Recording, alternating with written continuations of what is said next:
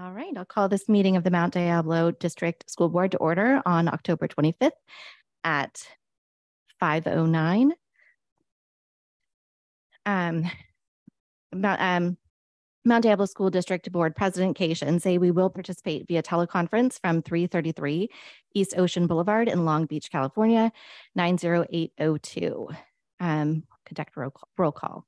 Trustee Khaund here. President Nzewi, Here. and I am here as well. Um, we are, there's been a little bit of traffic um, near the district office, so we'll, um, hopefully we'll be joined by our other members soon. Um, we'll move on to um, public comment. Um, the public may address the board concerning items that are scheduled for discussion during closed session only. We've Kip Penovich.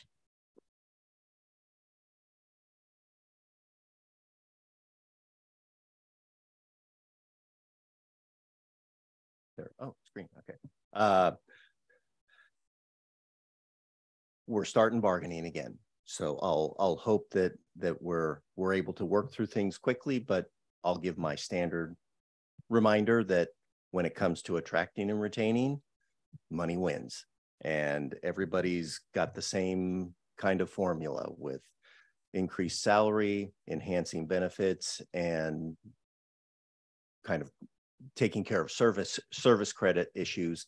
Um, and so I hope that those will be part of the negotiations that will be discussed when both sides get in now that we can get it started and hopefully we'll be able to get to a, a quick resolution because that would, that would be great on all sides. So that's all I wanted to say going into the cycle and I'll keep my fingers crossed.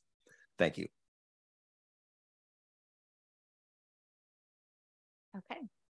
Um, our closed session agenda includes three point one negotiations. The board may discuss negotiations or provide direction to its representatives regarding represented employees pursuant to Government Code Section five four nine five seven point six.